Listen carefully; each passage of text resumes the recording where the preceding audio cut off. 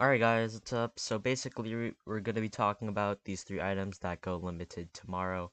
So it's the KSI boxing gloves, this KSI uh, mask, and this KSI crown. So I have a feeling that uh, these are going to go pretty well considering they're KSI stuff. Um, I only managed to get one of the items because um, I was probably sleeping during the other things.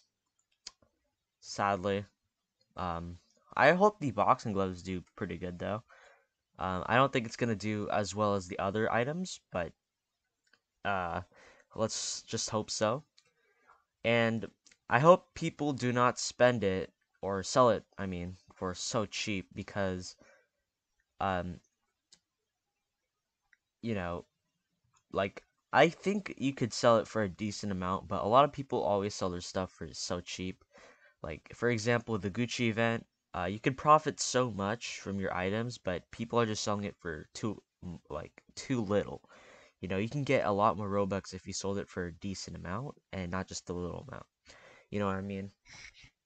But that's just my opinion. So uh, if you have any of these items, then you need premium to sell it. And uh, yeah, I just recommend do not sell it so cheap.